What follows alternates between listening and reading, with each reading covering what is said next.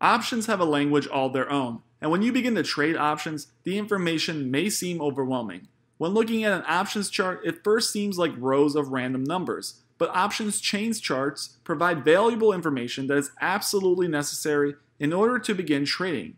Not all stocks have options, but for those that do, the information is present in real time and in consistent order on something called the options chain. Learning the language of an option chain can help investors become more informed, which can make all the difference between making or losing money. In today's video, we'll go over a real life example. In our case, we will open our Robinhood app, head over to the search bar, and find a stock with options availability. Today, we're looking at Apple. If you don't see the button to trade options on your screen, you may need to go into settings and enable options trading within the app. Robinhood will typically disable this by default. Once you're in the options page, things may seem overwhelming, but trust me, it's not as bad as you think. The first thing you want to recognize is the call and put buttons. Basically, options chains are listed in two sections calls and puts. A call option gives you the right to purchase 100 shares of a stock at a certain price to a certain date. A put, on the other hand, will give you the right to sell 100 shares of stock at a certain price up to a certain date. The next thing you'll recognize is the expiration dates on top. Options have various expiry dates. For example, you can buy call options expiring next week or next year. Options with less than 30 days to the expiry date will lose value very quickly due to something called theta. You might want to keep that in mind if you're getting ready to purchase. We then move on to this portion down below. These are the strike prices. It's the price at which you can buy with a call or sell with a put. Call options with higher strike prices are almost always less expensive than lower strike calls. The reverse is true for put options. Lower strike prices also translate into lower option prices. This goes back to something called in the money, at the money, and out of the money. Options considered in the money are usually very expensive as these strike prices have already been achieved. For an example, if Apple is currently trading around $120 a share, these call options down here with strike prices in the 110s are much more expensive than those above the current stock price.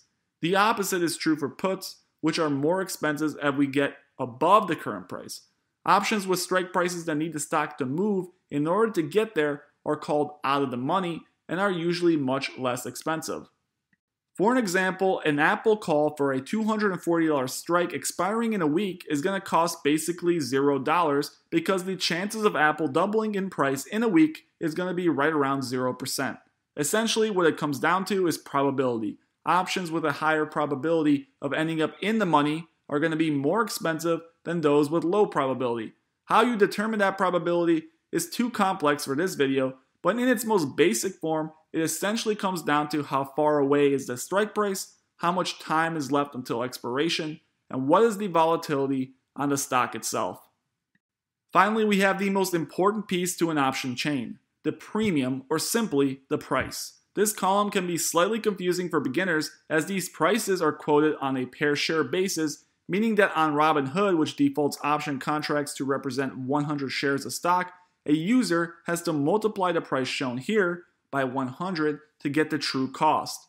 As an example, here is the $130 Apple call where it's quoted at 110. To buy this option, your account will be debited $110 as you need to multiply the $1.10 by 100. In essence, you will be risking at worst $110 with this option play.